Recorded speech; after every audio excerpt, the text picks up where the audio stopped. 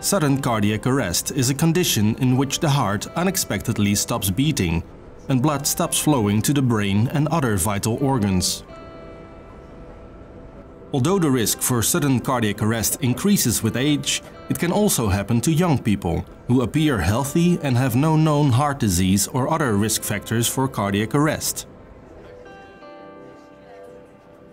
The chances of survival increase dramatically if response is quick and appropriate. Recognizing cardiac arrest can be challenging. The key observations are unresponsiveness and abnormal breathing. You hear me? Sure.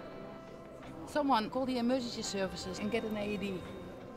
If the patient does not reply, open his airways by tilting his head backwards and listen closely for 10 seconds.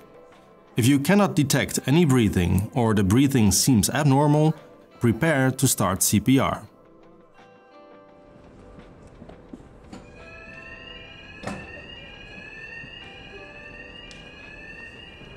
It is crucial not to be distracted by bystanders or your surroundings and to stay focused and calm while performing CPR.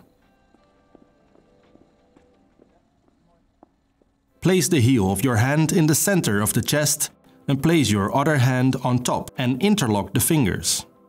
Position yourself vertically above the patient's body, keep your arms straight and press down on the patient's chest 5 cm deep.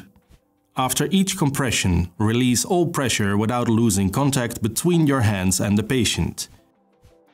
Repeat this at a rate of 100 to 120 compressions per minute. After 30 chest compressions, open airways again and blow steadily into the mouth for 1 second. Look for the chest to rise. Take your mouth away and watch for the chest to fall as air comes out. Give one more breath in the same manner and continue with 30 compressions and 2 rescue breaths until the AED arrives. When the AED has arrived, switch the power on by opening the lid. Take turns performing the CPR to make sure you do not lose your force. For children under 8 years old, simply slide the switch to the left for child mode. The AED will give you voice instructions throughout the process of using it.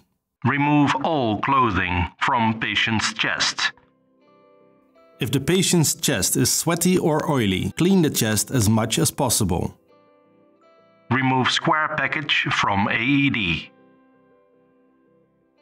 Open the package and take out the pads. Remove pads from blue liner and apply to right upper chest and left side.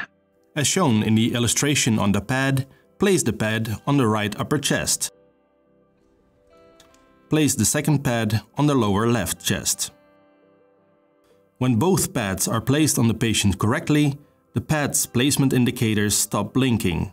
The indicators continue to blink if the pads are not correctly placed. As soon as the pads are placed, the AED starts analyzing the heart rhythm. Analyzing heart rhythm. Do not touch patient. Shock advised. Charging. Do not touch patient. Press flashing button. Confirm that no one is touching the patient and press the flashing shock button to deliver the defibrillation shock to the patient. Shock delivered. It is safe to touch patient. Continue CPR. Keep in mind that if the shocks do not cause the patient to wake up, it is still crucial to continue CPR until a medical emergency team arrives.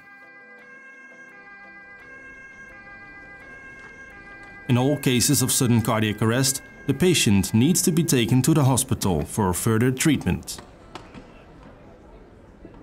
The immediate initiation of CPR vastly increases the chances of survival from cardiac arrest.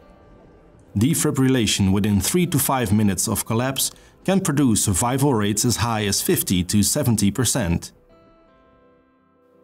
Nihon Kohden CardioLife AED 3100 features include Easy 3-step operation. Only 15 seconds from startup to first discharge with continuous VF-VT analysis, The ECG is analyzed even during chest compressions. Energy charging starts before the shock is advised to maximize CPR time. The AED 3100 performs a daily and monthly test to make sure the battery, pads and circuit are in perfect order. With the optional AED linkage remote monitoring system, you will be informed if there is anything that needs your attention. With Nihon Kohden's AED 3100, you are sure you're always ready to deliver life-saving performance when you need it.